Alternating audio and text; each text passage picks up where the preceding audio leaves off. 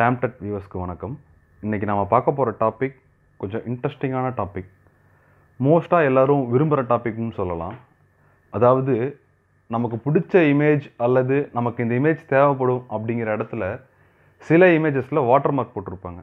But water mark போட்டிருக்க இமேஜை வந்து நம்ம பர்சனல் யூஸ்க்கு யூஸ் பண்ணலாம். பட் கமர்ஷியல் யூஸ் பண்ணுறது அப்படிங்கிறது வந்து ரொம்ப தப்பான விஷயம். ஸோ அப்படி நம்ம பர்சனல் யூஸ்க்கு யூஸ் பண்ணணும் அப்படின்னு சில இமேஜஸ் நம்ம செலக்ட் பண்ணாலும் அதில் சில வாட்டர் மார்க்ஸ் இருக்கும்.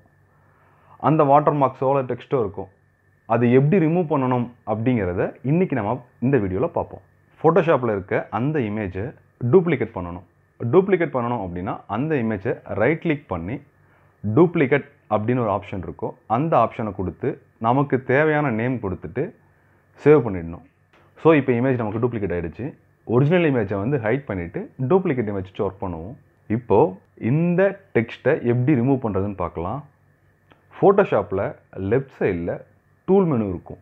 இந்த டூல் மெனுவில் நமக்கு தேவையானது ரெண்டு டூல் எதுக்கு ரெண்டு டூல் அப்படின்னா இந்த டெக்ஸ்ட் ரிமூவிங்க அல்லது இந்த வாட்டர் மார்க் ரிமூவிங்க நாம் ரெண்டு மெத்தடில் பண்ண போகிறோம் இந்த ஃபஸ்ட் மெத்தட் ஸ்பாட் ஹீலிங் அப்படிங்கிற ஒரு ப்ரஷ் மூலமாக பண்ண போகிறோம் ஜே ப்ரெஸ் பண்ணோம் அப்படின்னா ஸ்பாட் ஹீலிங் ப்ரஷ் செலக்ட் ஆகிடும் அந்த ப்ரஷ்ஷோட சைஸை நாம் என்டருக்கு பக்கத்தில் இருக்க square bracket right side square bracket press பண்ணோம் அப்படின்னம்னா அந்த சைஸ் வந்து இன்க்ரீஸ் ஆகும். அந்த டூலோட சைஸ் வந்து இன்க்ரீஸ் ஆகும். Left side square bracket press பண்ணோம் அப்படின்னா அந்த டூலோட சைஸ் வந்து டிக்ரீஸ் ஆகும். இப்போ நமக்கு எந்த சைஸ் அந்த இமேஜை வந்து நம்ம ஜூம் இன் பண்ணி அதாவது கண்ட்ரோல் ப்ளஸ் கொடுத்தோம் அப்படின்னா அந்த இமேஜ் ஜூம் இன் ஆகும். மவுஸோட லெஃப்ட் கிளிக் ப்ரெஸ் பண்ணிவிட்டு லாங் ப்ரெஸ் பண்ணிவிட்டு அப்படியே நம்ம வந்து அதை எரைஸ் பண்ண ஆரம்பித்தோம் அப்படின்னம்னா பக்கத்தில் இருக்க அந்த இமேஜோட சோர்ஸை அந்த ப்ரஷ்ஷை ஆட்டோமேட்டிக்காக கிராஸ் பண்ணி அப்படியே நமக்கு எரேஸ் பண்ண எரேஸ் பண்ண அந்த பக்கத்தில் இருக்க அந்த இமேஜ் சோர்ஸை எடுத்து எடுத்து எடுத்து நமக்கு அந்த இடத்த ஃபில் பண்ணிகிட்டே வரும்.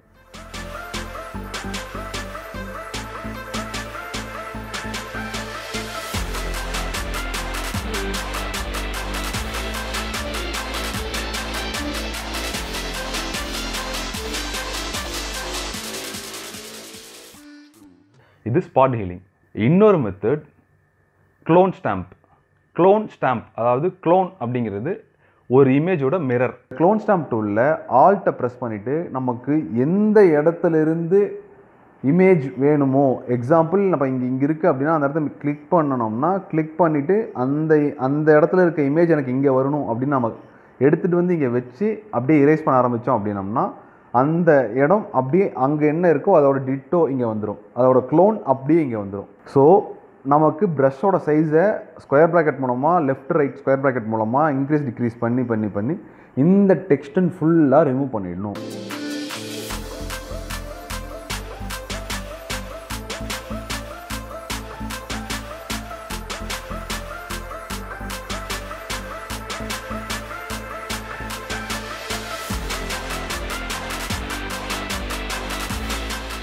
இது ஃபுல்லாக ரிமூவ் ஆகிடுச்சா அப்படிங்கிறத ஒரு தடவை திருப்பியும் கண்ட்ரோல் மைனஸ் கொடுத்தோம் அப்படின்னோம்னா நமக்கு நார்மல் வரும்.